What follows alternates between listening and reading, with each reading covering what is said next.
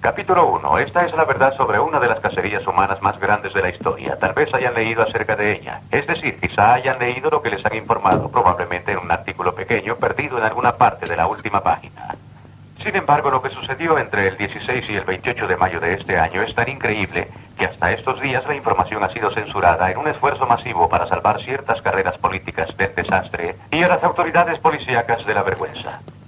Esta será la última vez que discuto estos sucesos con alguna persona. Así que cuando haya terminado esta relación tan grotesca, ustedes mismos juzguen su veracidad. Y después traten de convencerse de alguna forma de que no pudo suceder.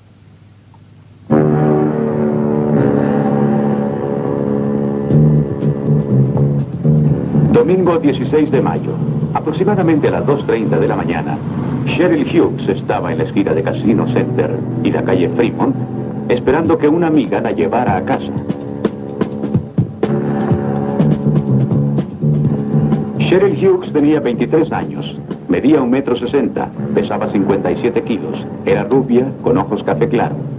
Trabajaba como cajera en un casino. Cheryl Hughes estaba cansada y tenía mucho apetito pero decidió caminar las ocho calles que la separaban de su casa, situada cerca de la esquina de la novena calle y Bridger. Cheryl Hughes se dirigía a su muerte.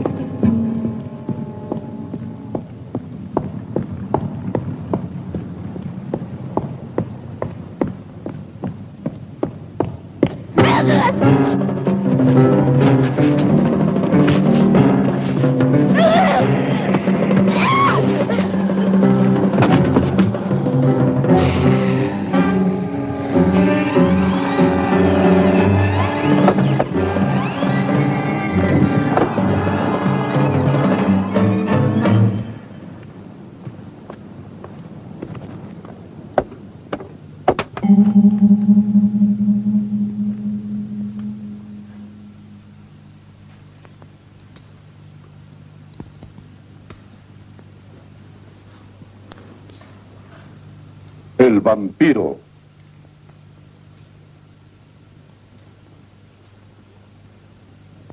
Qué extraño.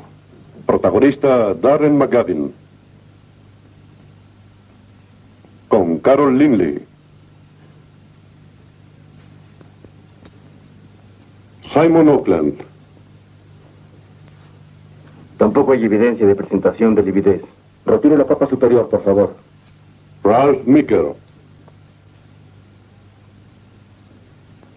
Y Claude Atkins. Es increíble.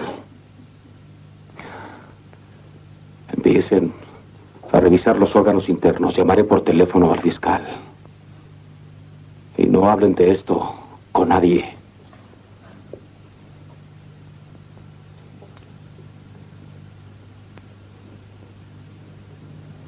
Me enteré de ello dos días después. Me llamaron cuando estaba disfrutando de mis primeras vacaciones en dos años y medio, porque la noticia era tan importante que nadie más que yo podría cubrirla. De acuerdo con el encantador editor en jefe. Se dice que el día que Anthony Albert Vincenzo nació, su padre abandonó la ciudad. Tal vez la historia sea apócrifa, pero yo la creo. Lo único que no comprendo es por qué su madre no se fue tan bien. Buenos días, esclavos. Dirigida por John Llewellyn Moxie. No me gustó mucho. Colcha, ¿qué es tu historia? Hace dos días que sucedió este homicidio y por eso me llamas. ¿Qué hay sobre ello? Tienen otras ocupaciones. Oh, te ves muy bien cuando te enfadas. Largo. Largo. Sí, largo. Primera escala, el Hospital General. Fui a ver a uno de mis espías de más confianza. Al menos antes era de confianza. Hola, Carl. Ahora, creí que te habían despedido del hospital. Creí que me liberaría de ti por dos semanas. Sí, también yo. Bueno, sobre este asunto de Cheryl Hughes, dice que la causa de la muerte no fue determinada oficialmente. Pregúntale al forense. Ah, vamos, tú eres mi espía. ¿Alguna vez he hablado sobre las operaciones ilegales que llevas a cabo en los armarios? Vamos, John, es mi trabajo. ¿Descubrieron algo extraño en la autopsia?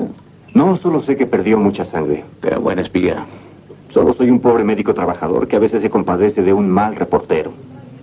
Doctor O'Brien, ¿cómo está buen el paciente? reportaje voy a hacer. Segunda escala, fui a ver a Gail Foster, una de las compañeras de trabajo de Cheryl Hughes, y además una amiga mía, muy íntima. Ah, pobre Cheryl. No imaginas cómo me impresioné. ¿Quieres que dejemos de hablar de ello? No.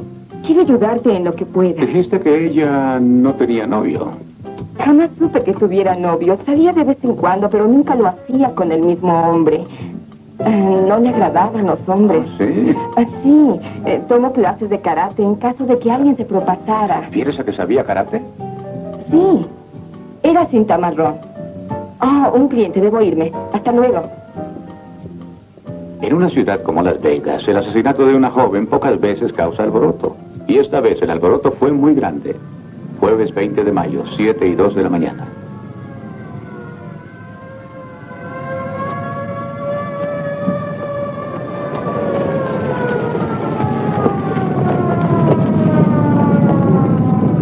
Está allá, señor. No me atreví a bajar. Está bien, amigo. Muchas gracias. Don, toma su declaración.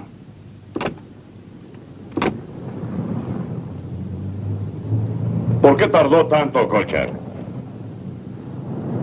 Necesitaba gasolina.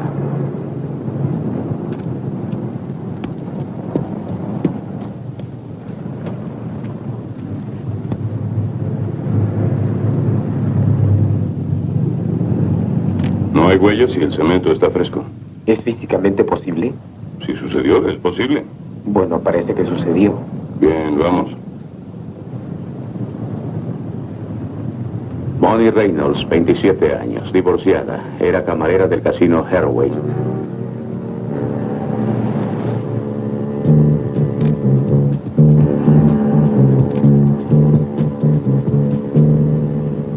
Miren el cuello. Debió perder mucha sangre, comisario. Cheryl Hughes también perdió mucha sangre.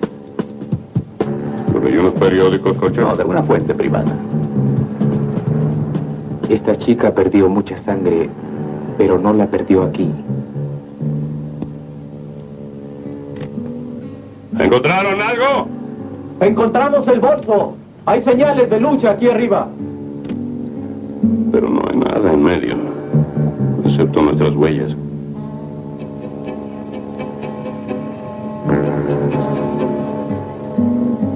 ¿Qué hizo? ¿La arrojó desde ahí? ¿Quién dijo que ese cuerpo fue lanzado por un hombre con una fuerza extraordinaria? ¿El fiscal? No me lo han informado. Quien dice lo de Cheryl Hughes está conectado con este homicidio. ¿La policía? Tampoco me han informado. ¿Quién dijo que Cheryl Hughes murió por pérdida de sangre? ¿El forense de nuevo? Todavía no ha entregado su informe. Y quien pudo preguntar dijo que un superhombre diabólico anda suelto en Las Vegas. ¿Estás enfermo, Kolchak? No inventé estos hechos. Oh, sé que estás aburrido. Un buen reportero como tú ha atado a un grupo de estúpidos. No inventé ningún... Ya sé que eres un reportero estupendo que busca solamente historias que valgan la pena. Te digo que no. Pero por ahora, espero que trabajes sin inventar fantasías. Y Kolchak, no molestes a la policía. Cuando descubran algo lo dirán. Mientras tanto, usa la cabeza. No sé qué estén buscando, pero no quieren la ayuda de caníbales como tú.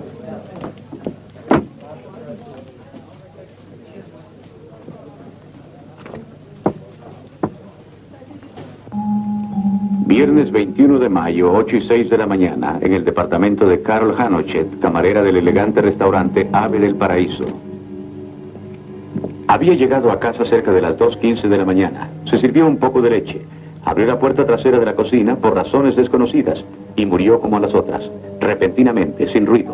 Su compañera de habitación que dormía cerca de allí no escuchó nada. Se empezaba a crear un cierto patrón, pero era horrible.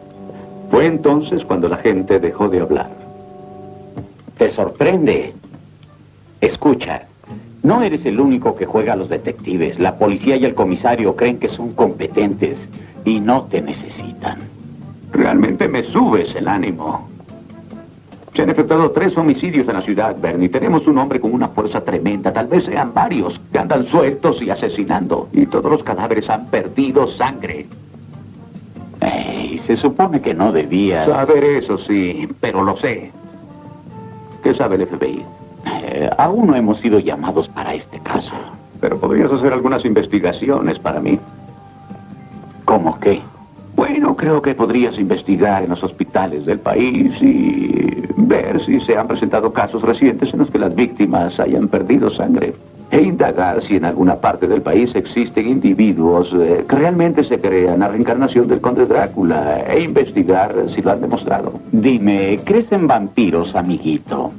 Eres muy gracioso, sí, muy divertido. ¿Lo harás o vas a quedarte disfrutando de mi cerveza? Lo pensaré. Mientras tanto, espero que no te desilusione el saber que la oficina local comparte tu punto de vista. Oh, No en todo. Están esperando un informe especial del forense y a dos expertos en patología que vienen desde California. Ah, ¿sí? Gracias por la cerveza, Carol. De nada. Ah, hola, Mil. ¿Qué tal? ¿Cómo estás? Qué hermoso lugar es este. Sí. Eh, Si quieres escuchar un informe especial, ve a la oficina del comisario a las 6.30. 6.30. Espero que estés ahí. Eh, ¿A dónde vas? Oh. Señor Kolchak, hay una llamada telefónica para usted. Señor Carl Kolchak, lo llaman por teléfono.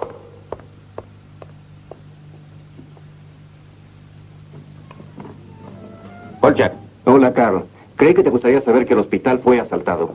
Sí, ¿qué robaron? ¿Dinero, medicamento, equipo o qué? ¿Sangre? Así es, Cole. Se llevaron toda la existencia. ¿Algún tipo en especial? Se robaron todos los recipientes que teníamos. John. Eh, perdona, ya debo irme. John.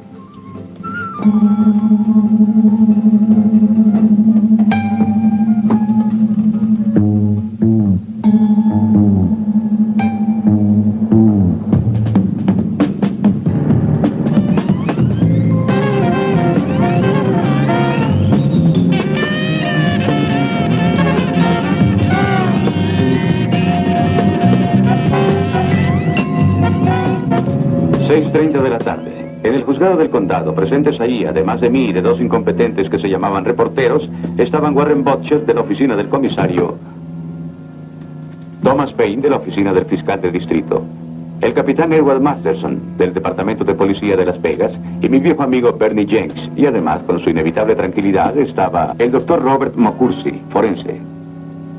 La muerte en todos los casos fue extremadamente rápida. Se presentó en menos de un minuto. Después de que se causaron las heridas iniciales, la sangre fue extraída rápidamente con algún dispositivo especial de succión.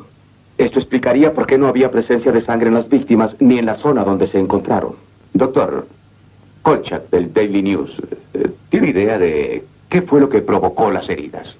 Son parecidas a las huellas de los colmillos de un perro mediano. ¿Cómo va a ser un perro, doctor? ¿Está diciendo que el asesino eh, es un perro? No quise decir que esas heridas fueron causadas por un perro, sino que son similares a las que podría causar un perro.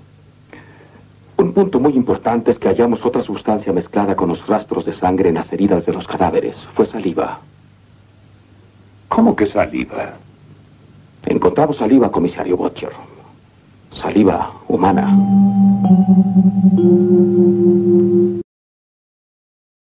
Si Mocursi hubiera sugerido que el asesino era una mariposa gigantesca, no hubiera causado tanto efecto. Cierre la puerta. Ahora, ¿a qué se refiere con humano? ¿Está sugiriendo que todas esas mujeres fueron mordidas en el cuello por un hombre? De momento, la evidencia parece indicarlo. Sin embargo, no me arriesgaría a afirmar con certeza el motivo. Solo estoy seguro de que todas murieron de un shock, que fue inducido por una pérdida masiva de sangre. Eh, doctor Mocursi, ¿es posible que el asesino matara a esas mujeres mordiéndoles el cuello con el propósito expreso de beber su sangre? Colcha, que está aquí por tolerancia de todos nosotros. Tolerancia. ¿Cómo? Se dice tolerancia. Bueno, como se diga, cierre la boca. Ha habido casos de personas que sufren algún desequilibrio mental y firmemente creen que son vampiros.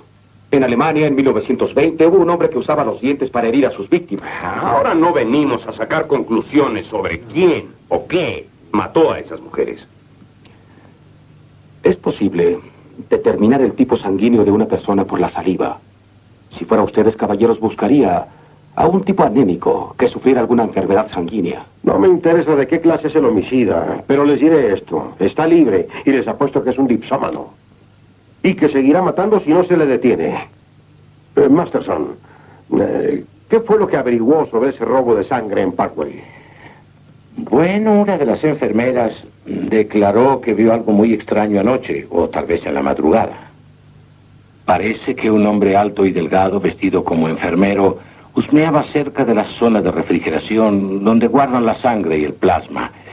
No le dio mucha importancia, pero cuando lo mencionó al supervisor del piso le dijeron ah, que nadie con esas señas trabajaba ahí. Su descripción es la siguiente. Un hombre blanco, adulto, como de un metro noventa, delgado, 79 kilos de peso, rostro pálido, cabello oscuro. Empezaremos a buscar a un hombre, ya sea residente o peor aún, un forastero que tal vez ya no esté en la zona. Vigilaremos el aeropuerto, la terminal de autobuses, el ferrocarril, bloquearemos las carreteras y con suerte lo atraparemos. Si es tan estúpido como para quedarse después de tres crímenes, si tiene alguna otra sugerencia. Adelante. Bien, hemos terminado. Gracias, doctor Mo... Mo... Gracias, doctor. Señor Payne, no estoy de acuerdo en rechazar la teoría del señor Kolchak por completo. Créame, es eh, cuanto mucho muy especulativa, pero no del todo ilógica. Kolchak. Deshágase de esa cinta. Ahora, esta versión del vampiro.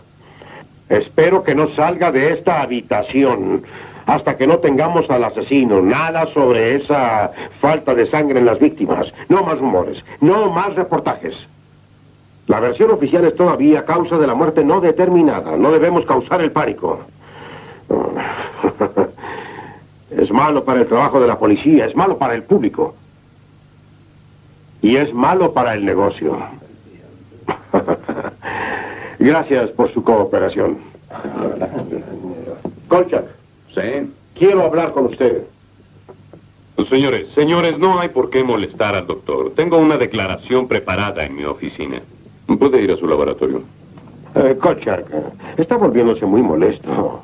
Me veré obligado a hablar con Vincenzo sobre usted. Tal vez deba poner a otro reportero a cubrir esta historia.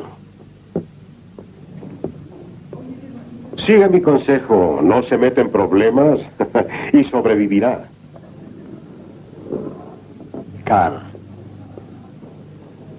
¿Por qué no te fijas en lo que dices? Conoces a estos tipos, pueden despedirte de tu trabajo y arrojarte de la ciudad. Eso harías tú, James.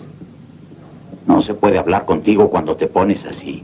Escucha, investigaré extraoficialmente todas tus pistas, solamente en secreto. Pero hazme un favor, no me hables en unos cuantos días, te lo pido como amigo.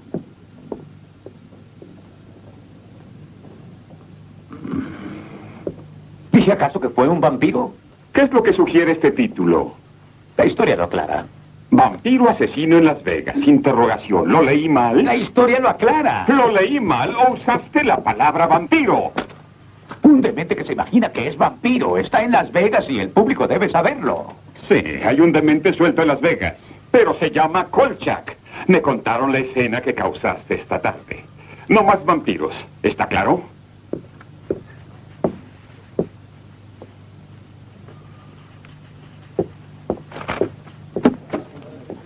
¿Qué te parece una entrevista exclusiva, enmarcada en rosas, con las mujeres que han aparecido muertas, directamente desde el cielo, narrando sus experiencias? Eh, eh, ya me voy. Ah, ah, lo lamento. Parece que me dormí. Sí. Ah, ¿Qué estaba diciendo? Ah, no sabes el bien que le haces a mi ego, ¿sabes? Sí. Eh, solamente estaba diciendo que creo que Vincenzo eh, es un loco de remate. Eh, El homicida no es normal, es obvio. Posee una fortuna grande. Qué bueno que en mi trabajo no tengo tantos problemas. Oh, perfecto.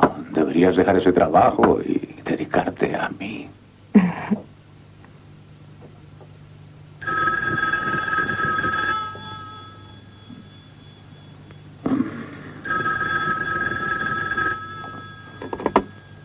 Kolchak.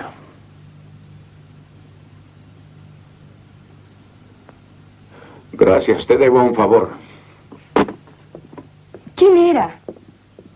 Hubo otro asesinato. Oh, no.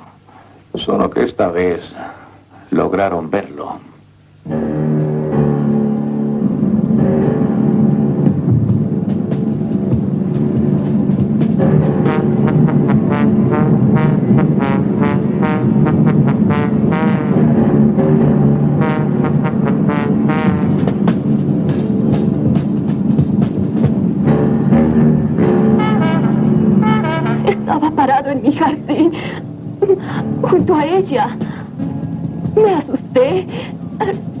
Cuando me decidí a salir, corrió al auto.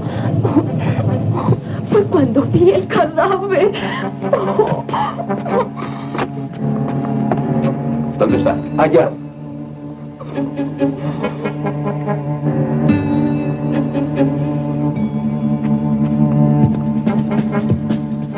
Víctima número 4, Mary Brande, corista, de 25 años, un metro sesenta de estatura, 61 kilogramos de peso, menos el peso de 4 litros de sangre. Parece que Bela Lugosi ha vuelto. No haga bromas. Aquí está su mamá.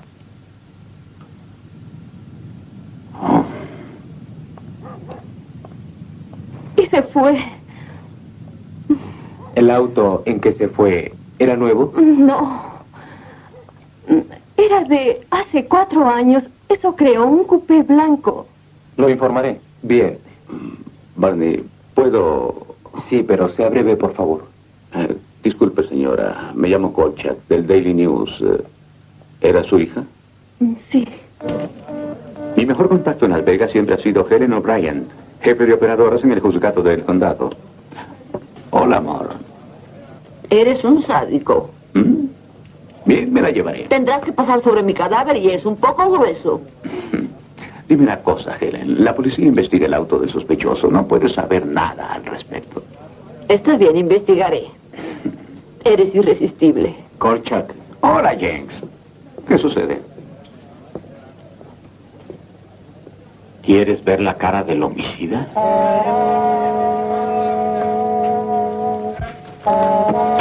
Cuarto asesinato.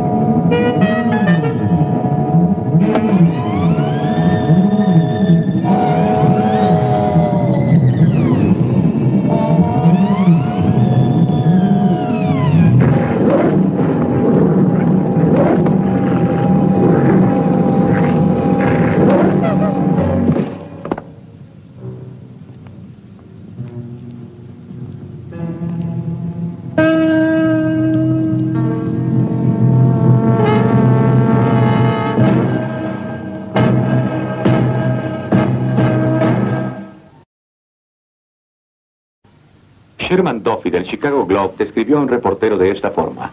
Socialmente encaja dentro de la definición de dipsómano y de cantinero. Espiritualmente se parece a Galileo, porque sabe que el mundo es redondo. Pero eso es inútil cuando el editor piensa que no sirve.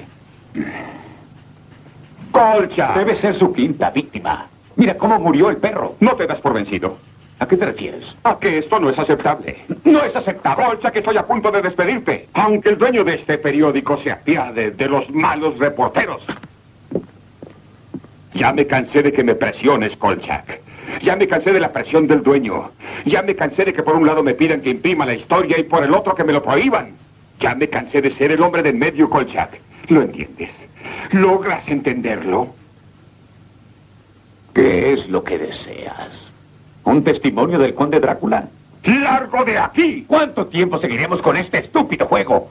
Este loco cree que es un vampiro. Ha asesinado a cuatro o tal vez a cinco mujeres. Y ha extraído hasta la última gota de sangre. Eso es una noticia. Una noticia. Y esto es un periódico. Se supone que hay que imprimir las noticias, no suprimirlas. ¿Acaso sabes por qué no hemos sacado la edición? No, dime por qué. ¿Será porque una persona te lo ordenó? Colcha, que eres un idiota. Peor aún, un irresponsable. Los homicidios solo representan un reportaje. Oh, ¿Y qué diablos tiene esto que ver conmigo? El punto es que al suprimir esto ocultamos la verdad. Todo el mundo sabe lo que sucede. La policía, el fiscal, el forense. Cada reportero de todos los periódicos de Las Vegas lo sabe. Y como siempre, el único engañado es el público. Hasta que llegaste al punto, Kolchak. El público de Las Vegas no lo sabe. Porque te aseguro que se morirían si lo supieran. Con lo poco que saben ya están alarmados. ¿Capéis? Martes 25 de mayo, 7.30 pm. Helen O'Brien me dijo que la policía tenía 16 direcciones registradas. Todas menos una habían sido eliminadas. El propietario del auto se llamaba Martin Lubin, con dirección en la calle Spring Mountain. El nombre y la dirección eran falsos. La persona que vendió el auto era Fred Harley. Entonces le fijé el precio y no dijo nada, solo se quedó viéndome. ¿Cómo demonios averiguó esto, Cocha? Tengo mis métodos. No se detenga por mí. Está bien, pero mantenga la boca cerrada. Sí, señor. Continúe. Bueno, como dije, solo se quedó viéndome. Y me dijo que el precio era demasiado alto, que le bajara a 300 dólares. Y me veía como desafiándome a que bajara el precio. Era él. Eh, ya basta, Kolchak. Deje de hacer nuestro trabajo. Eso ya fue establecido. Eh, sí, ya lo identifiqué, pero tenía bigote. ¿Bigote? Sí. ¿Y le vendió el auto? Bueno, iba a decirle que no. Pero algo me dijo que no me metiera con ese tipo. Parecía un demente. Con esos ojos rojos y esa voz. Parecía capaz de espantar a cualquiera. Dos años y medio en espera de una historia. Toda mi vida. Y cuando la encuentro no puedo imprimirla. ¿Sabes que llegaron al punto de tapar los agujeros en el cuello de Mary Branden antes de que se tomaran las fotografías? Sí. Carl, si continúas así, van a despedirte de nuevo. Em, veamos, ¿cuántas veces te han despedido? ¿Dos en Washington? ¿Tres en Nueva York? ¿Dos en Chicago? Y no sé si fueron dos o tres en Boston. Estoy extinguiéndome en vida. Como noticiosos en su hábitat natural, una piscina de escocés en las rocas. Rezaré en recuerdo de Ben Hesh. Lista. Deberías dejar tu empleo. ¿Has pensado en casarte conmigo? Bueno, hablo en serio. Ese hombre ha asesinado a cinco chicas y a todas de noche. ¿Cinco? Sí, a cinco. Ah, Una chica llamada Shelley Force está extraviada y apostaría mi salario a que es la quinta chica. Hey, lo haces muy bien, Gailey. Carl, he estado pensando en una cosa. ¿Qué sabes sobre los vampiros?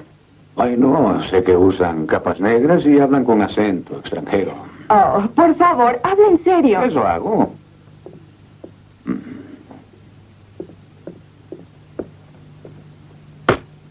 Ábrelo.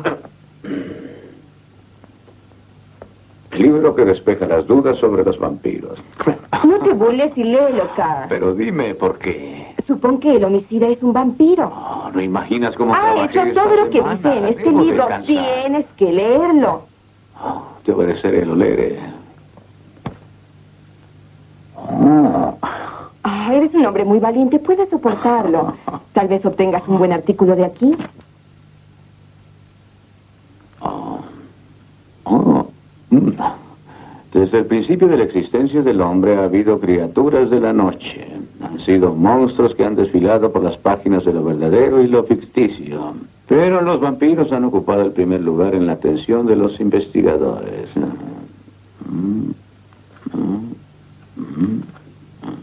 Durante la noche el vampiro es virtualmente indestructible y solamente le teme la presencia de una cruz.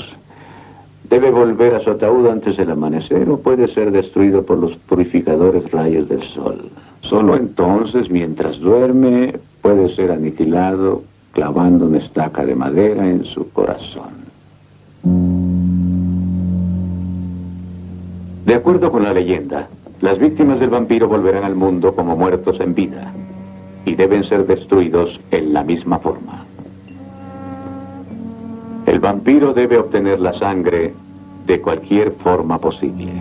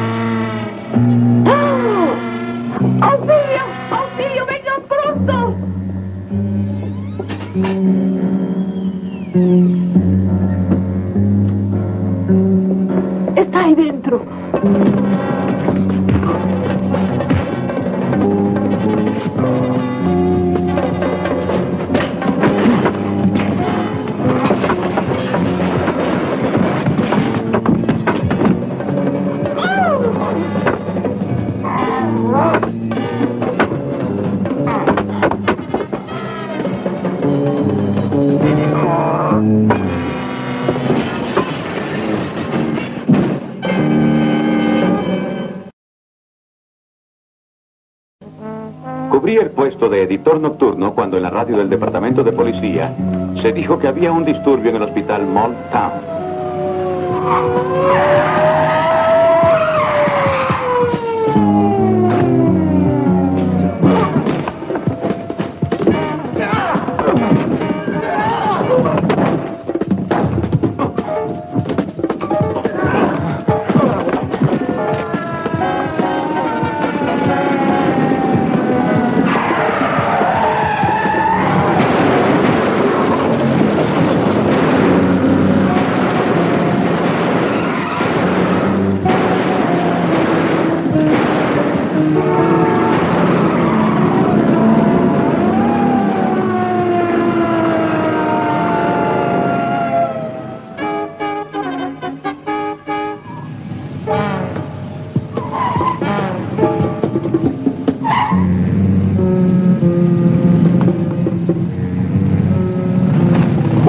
Jueves 27 de mayo, 10 y 20 de la mañana. La situación no había cambiado.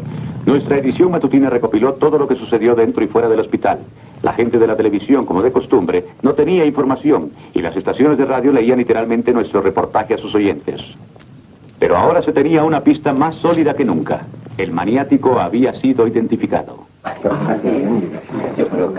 Aquí traigo todo. Eh, siéntese, Colcha. Ahora, este es el informe de las investigaciones de Scotland Yard y de la Interpol. Sujeto Janos Scorseni. Nacido en Krasti, Rumania, en 1899. Espera un momento, Bernie. ¿Tratas de decirnos que este hombre tiene más de 70 años? Vamos, Bernie, tus hombres se equivocaron de homicida. Te aseguro que no. Estos datos fueron confirmados tres veces. Estuve investigando toda la noche y me siento muy cansado. ¿Quieres Está escucharlo? bien, Bernie. Tranquilízate. Continúa. El padre de Scorseni murió en 1923. Le heredó aproximadamente 100 millones de dólares. Empezó a viajar y fue conocido en Europa Oriental como un amante de la vida nocturna. No sabemos nada más hasta poco antes de la Segunda Guerra Mundial. Sin embargo, Scotland Yard reporta que apareció en Inglaterra cuando empezó el ataque alemán. Estoy seguro que el señor Kolchak encontrará los siguientes datos de gran interés. Cuánta formalidad en un hombre que se bebe mi cerveza.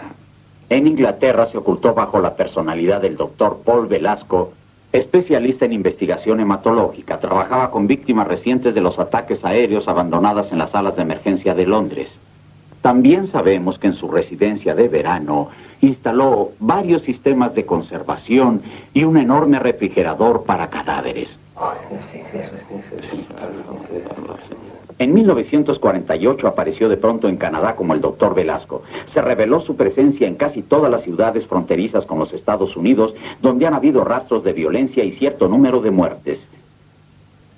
Suponemos que salió de Canadá hacia Las Vegas el 19 de abril bajo la identidad del detective Alan Hensley y debido a su ciudadanía británica es un fugitivo internacional.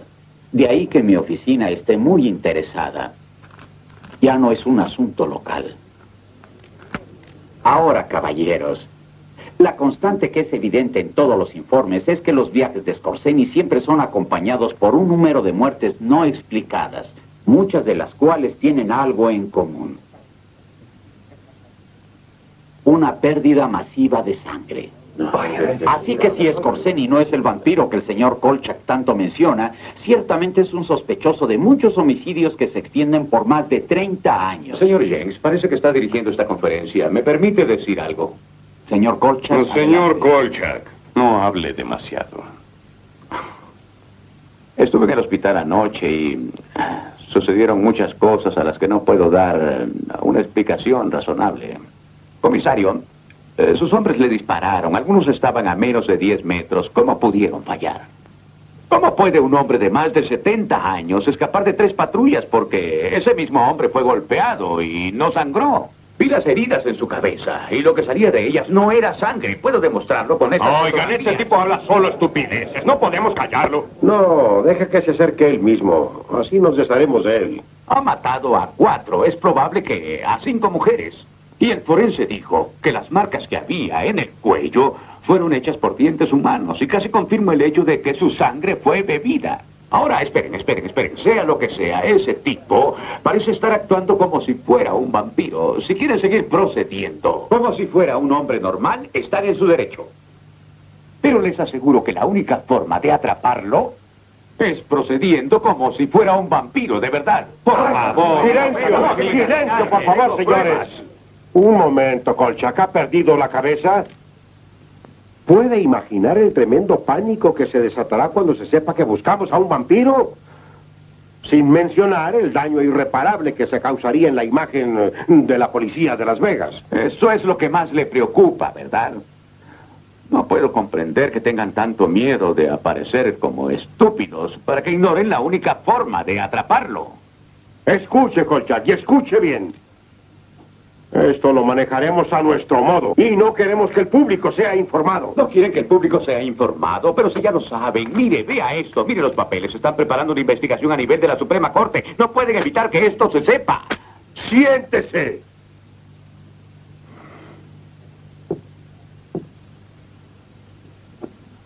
No me importa lo que usted suponga que sea. Este tipo seguirá clasificado como un maniático ordinario y será atrapado por los procedimientos acostumbrados. Oh, Dios. Y será mejor que empiece a cooperar con nosotros, Kolchak. O le aseguro que va a salir escoltado de la ciudad de Las Vegas. ¿Entendió?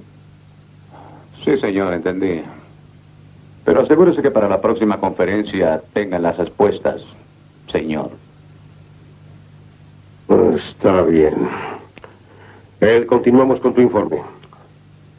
Nuestros departamentos combinan una fuerza de 650 hombres patrullando la ciudad. Las licencias fueron canceladas y se trabajan turnos de 16 horas. El asesino actúa entre el anochecer y el amanecer y tenemos la completa cooperación de la patrulla de caminos y de la seguridad federal. El jefe de policía tenía la seguridad de atraparlo, pues tenía bloqueados todos los caminos de Las Vegas. ¿Entendiste? Pues sí, entendí. Repítelo. ¿Qué fue lo que te dije? Mostrarle a los vendedores de bienes raíces la fotografía de este tipo y preguntarle si vendieron una casa a alguna persona parecida a Ya él. veo que entendiste. Vamos. Espera un momento, debo deshacerme de estos billetes. Mickey, ¿jamás se te ha ocurrido que puedes ganar? Cierra la boca.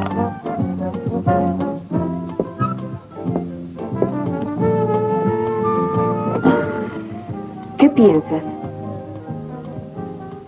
Sabes, tengo un eh, presentimiento muy extraño. La policía no atrapará al homicida. Y también tengo otro presentimiento. ¿Cuál es? Que esta historia puede ser más grande de lo que pensé. Bueno, más extraña. He visto muchas cosas extrañas en mi vida, pero jamás he visto ni imaginado algo parecido a esto. Ah, no me digas que finalmente estás... Ni siquiera quiero pensarlo. A la calle 30 y Avenida Maple. Atención a todas las unidades, llamada de emergencia. Llanos Scorseni fue localizado. Viaja en una camioneta color verde, modelo 1969. Interceptenlo en la esquina de OK y Housels. Su identidad ha sido confirmada.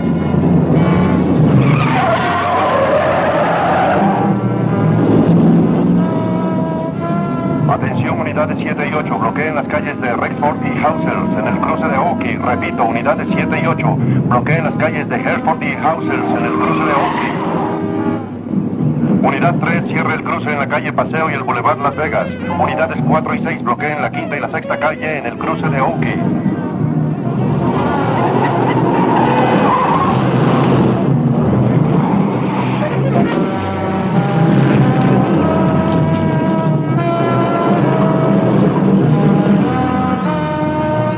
Calle 5.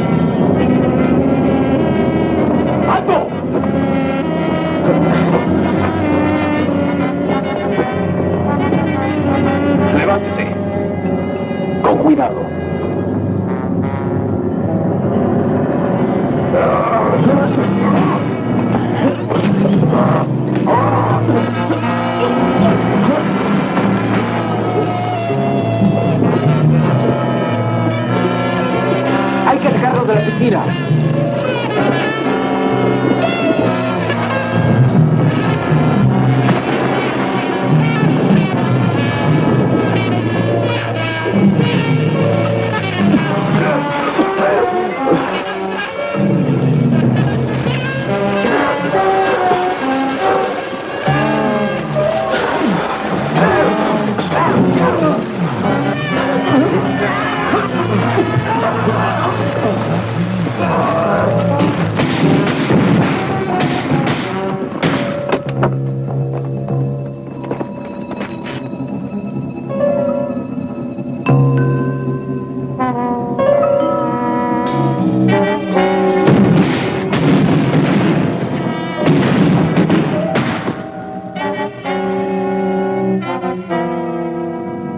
Viernes 28 de mayo, 3.17 de la mañana.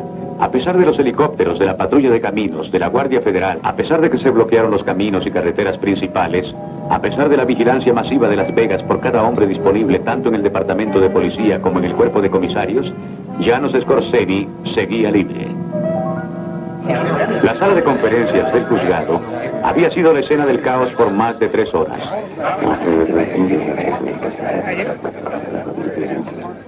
Mensajeros de las unidades seguían inundando el lugar. Todos los hombres disponibles que habían participado en el intento de captura habían sido interrogados. En el hospital dos oficiales habían muerto y un tercero estaba al borde de la muerte. Los informes de su estado seguían llegando, mientras la cacería humana más grande en la historia de Las Vegas continuaba en vano.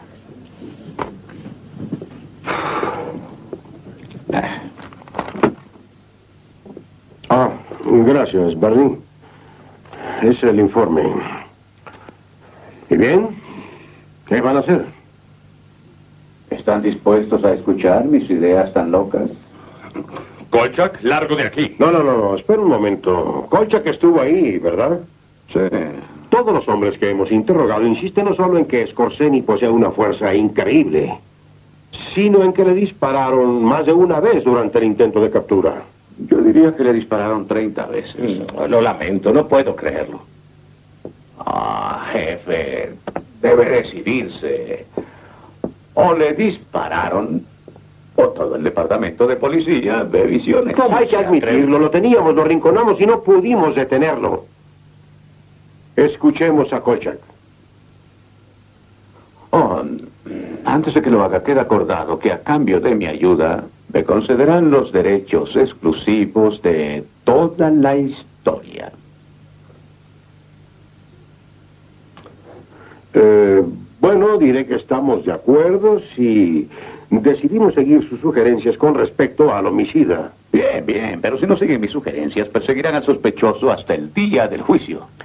Kolchak, solo díganos cuál es su plan. Con gusto.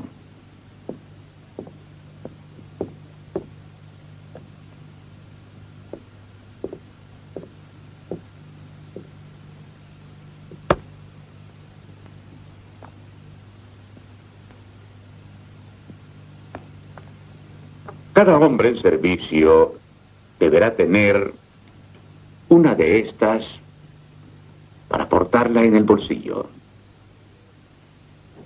Y esto, caballeros. ¿De dónde lo sacaste? Un amigo mío se dedica a la reparación de muebles y la fabricó. Cada hombre debe traer uno de estos y una de estas. ¿Me estás sugiriendo que clavemos una de esas en el pecho de Scorseni? No, en el corazón. Hay una frase legal para eso, Kolchak, y debe haberla oído varias veces en su larga experiencia. La frase es homicidio premeditado. La única forma de detenerlo. Ya escucharon a sus hombres. ¿Están equivocados? Oh, ya pueden dejar de buscarlo durante la noche de ahora en adelante, caballeros.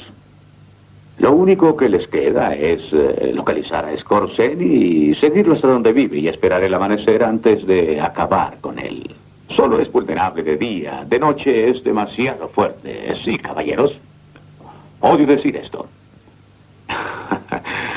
Estoy seguro que tratamos con un vampiro de verdad.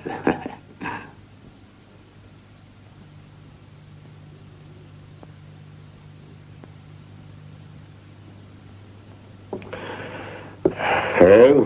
¿Sí? Warren. Tom, también quiero tomar parte.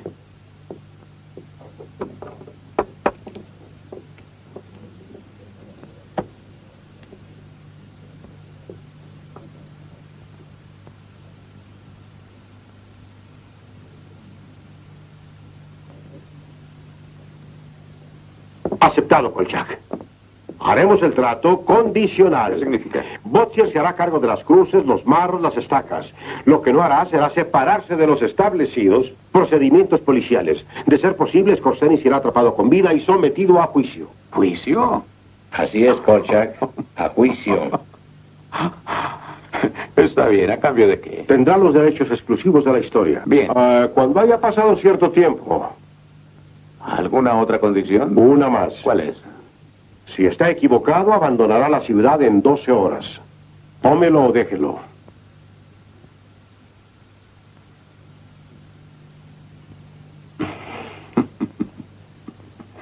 Está bien, lo tomo. Porque sé que tengo razón. Y ustedes lo saben. ¿Cierto? Chao.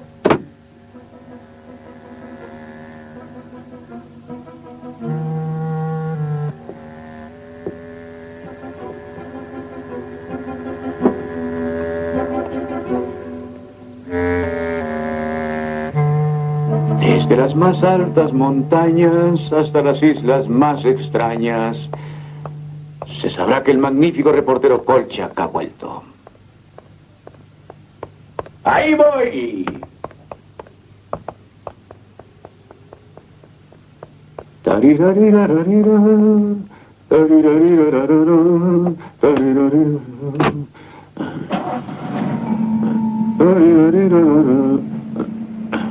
¿No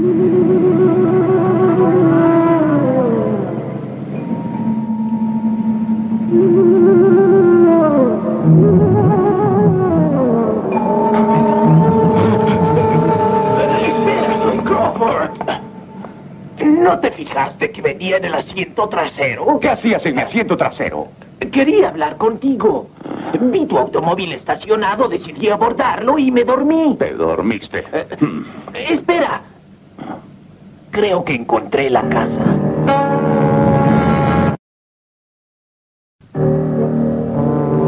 Le dije a Crawford que me diera 30 minutos antes de decirle a James dónde estaba. De ese modo podría ver la casa a solas unos minutos y al mismo tiempo evitaría que la policía llegara antes del amanecer. De no ser así, llegarían de inmediato y echarían a perder mis planes.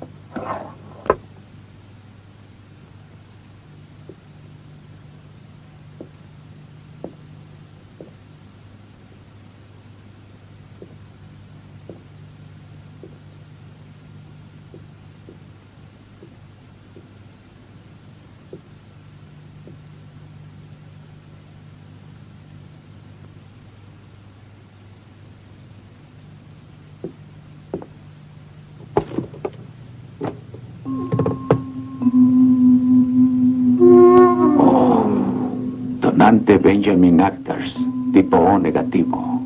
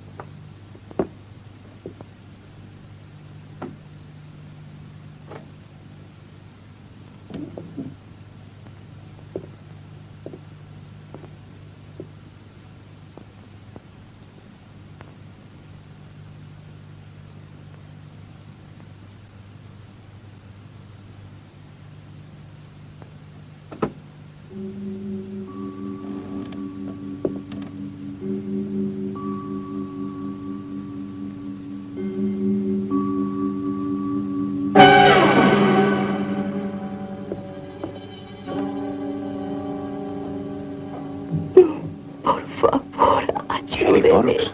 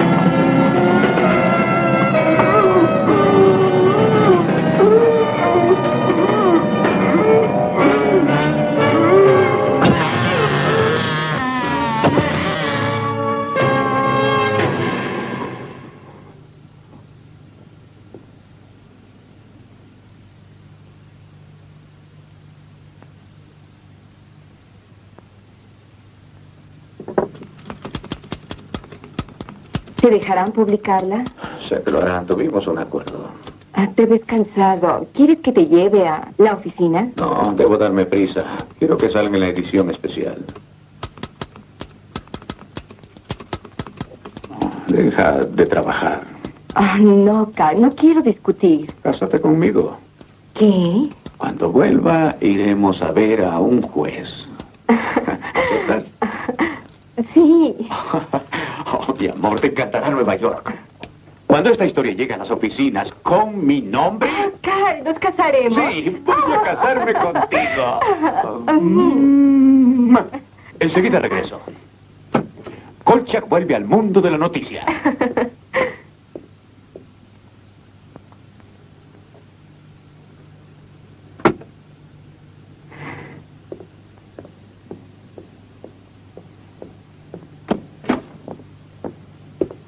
Está, Vincenzo, y si puedo opinar diré que es sensacional.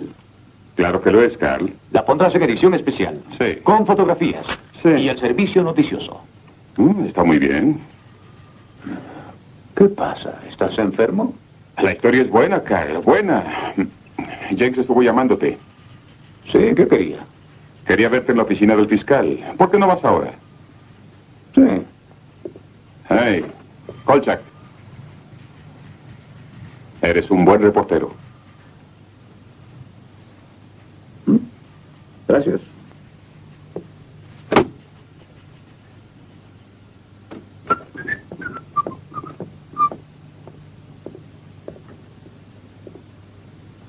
Bien, buenos días a todos.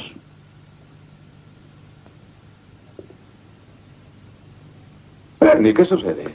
Su nombre es Carl Kolchak y reside en la ciudad de Las Vegas. ¿Sabe cómo me llamo? ¿Qué es lo que sucede aquí? Carl Kolchak queda arrestado por homicidio. La ley exige que se le advierta que tiene derecho a permanecer en silencio.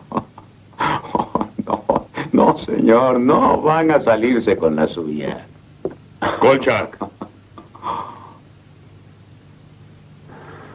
Está usted arrestado.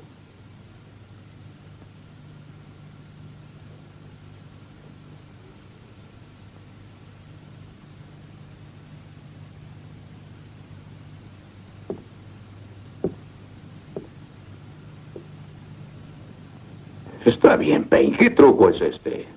Tiene muy mala memoria, Colcha. Hace pocas horas, el comisario Butcher en persona lo vio clavando una estaca de madera en el corazón de un hombre con este marro. Era un hombre que no había sido interrogado, no había sido arrestado, ni tampoco acusado. Rompió nuestro acuerdo. Y después que le advertimos lo que íbamos a hacer, salió corriendo de aquí y asesinó a Janos Scorseni antes de que pudiéramos hacer algo. Estaba ofuscado, diciendo que el señor Scorseni era eh, un vampiro de verdad y creyó que salvaría al mundo. Eso es homicidio en primer grado. Y si alega desequilibrio mental, tal vez tenga suerte, pero le prometo esto.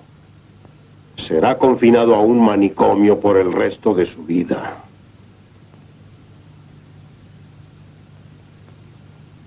Después de salvarlos, me pagan de este modo. Carl, siéntate un minuto y escúchalos. Bernie, tú estabas ahí. Carl, siéntate.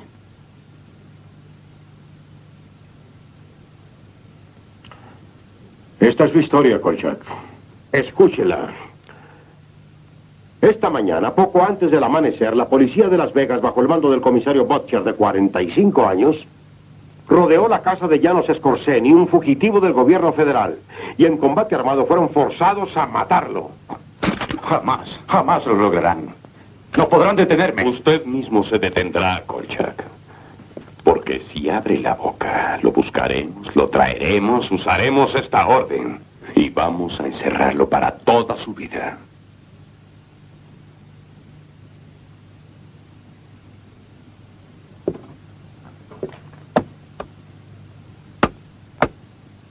Vea eso, Kolchak. Tómelas y abandone la ciudad ahora. Pagaremos todos sus gastos. Llamaré a Gail. Ya no está ahí, Carl. ¿Qué le hicieron? Nada. Solo se le dijo que fuera tan amable de abandonar la ciudad. La chica era un elemento indeseable, Kolchak, y no queremos elementos indeseables en Las Vegas.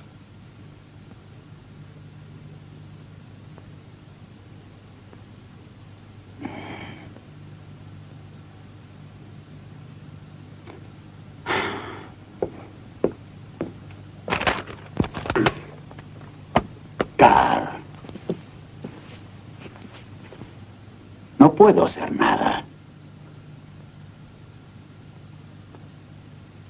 Carl, hazme saber dónde estás. Sí, Bernie, te escribiré.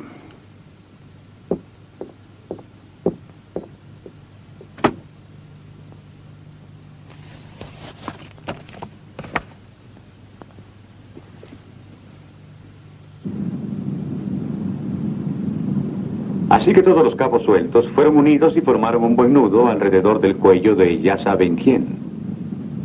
Después de abandonar la ciudad, me anuncié en las columnas de personas extraviadas en los diarios desde San Luis hasta San Francisco, hasta que se me acabó el dinero. Hasta ahora no he recibido ninguna respuesta, pero seguiré intentándolo, aunque no creo que pueda encontrar a Gail Foster de nuevo. Tal vez sea mejor así. Y eso es todo. El libro ha terminado. Y debe juzgar usted mismo.